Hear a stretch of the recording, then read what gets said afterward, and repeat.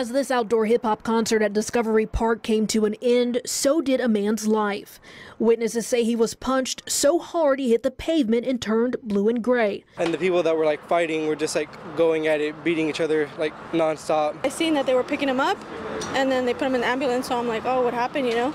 So then I go over there and I spoke to some people and they were like, yeah, something happened, you know. Rumor was that he passed up, passed away. The area was cordoned off with police tape as they investigated the attack and looked for suspects. A few hours earlier, a loud bang sent concertgoers into a frenzy. I thought it was like a gun and that people were shooting or something and I thought people were gonna fight. The sound came from this Earthly Delights food tent. While a worker was checking these propane tanks believed to be leaking gas, they ignited, catching the deep fryer on fire. And this is a close-up of the destruction, burned deep fryer, propane tanks, and other charred wiring. The fire causing a panic. Yeah, I ran. I ran fast. I was out of here. I couldn't, mm, I wasn't finna die. Some tried to knock down fences to escape the park. They were like running up there and like this way, and then like everybody started scooting back that way. The injuries range from twisted ankles to skinned knees. Four people were hospitalized, three others were treated at the park. Anytime you're in a crowd like this, no matter what the situation is, it's important to try and stay calm.